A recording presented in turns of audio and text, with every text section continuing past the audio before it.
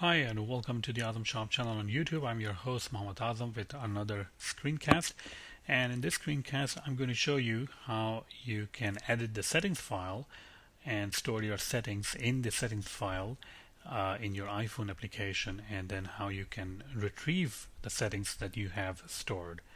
Uh, if you are unfamiliar with these settings uh, simply run your run your uh, iPhone and click on the settings and you will see different applications like Twitter, Safari, Photos.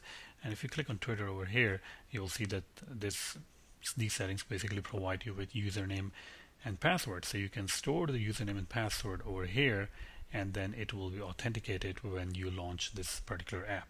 And if you want to change it you can simply change it at one place and then it will be authenticated again okay? So we're going to do something very similar. Now it's pretty easy.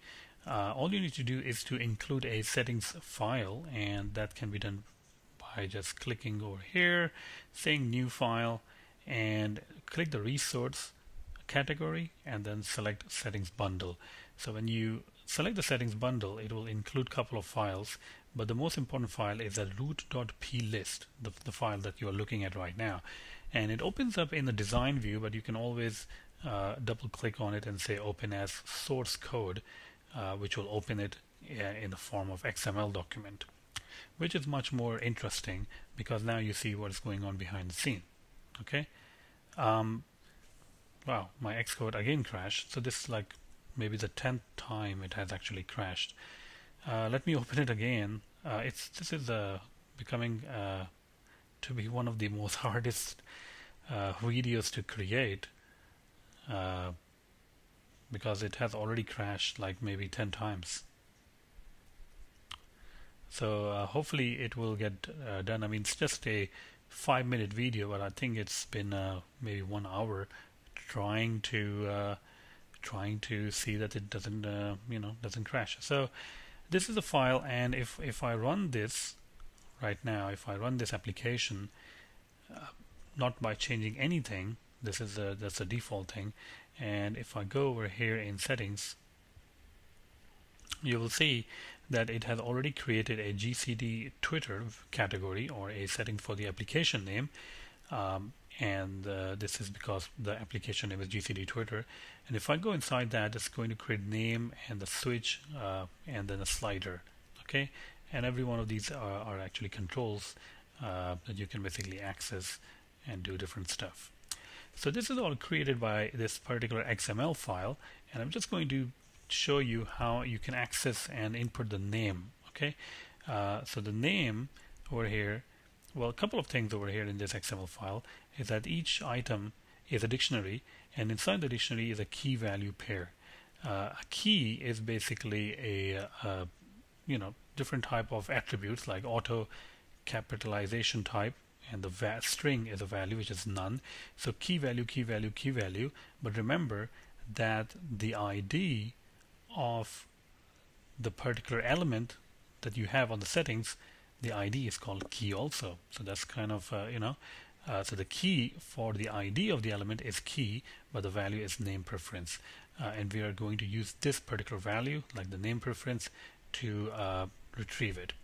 Before even retrieving it inside the app delegate uh, you have to create the method called initialize.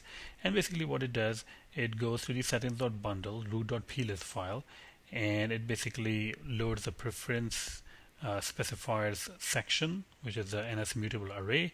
It iterates through it and then kind of like initializes all the settings that you have. Okay using all the keys that you have. It initializes it with the default value. If it has a default value it initializes it. Okay?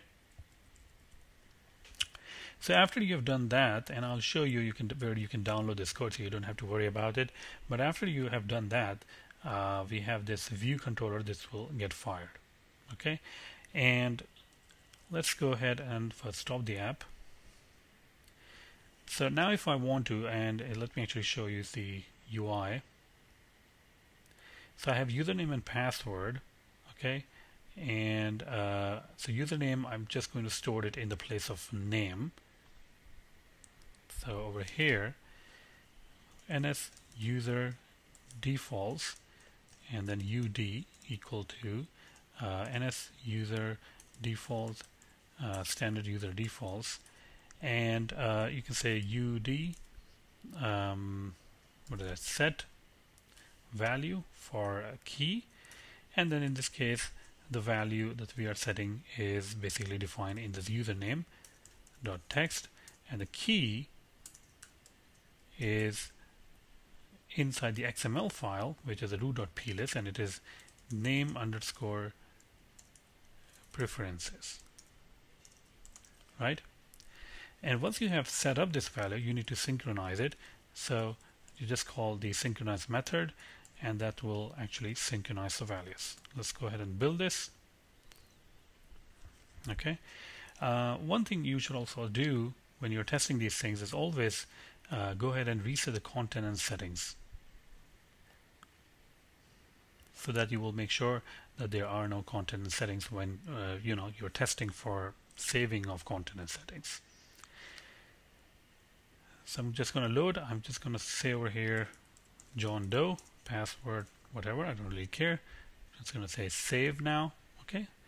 And let's go ahead and see if it's it has saved or not.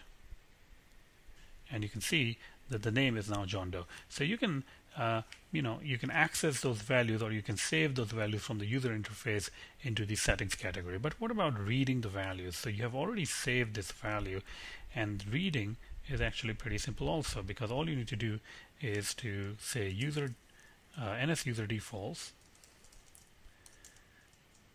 uh, ud equal to uh, ns user defaults and uh, standard user defaults and then you can say uh, ud um, you can say value for key but I believe that there is some else which is string for key. You can use a string for key and then again you can say name preference and uh, you can simply log out the value.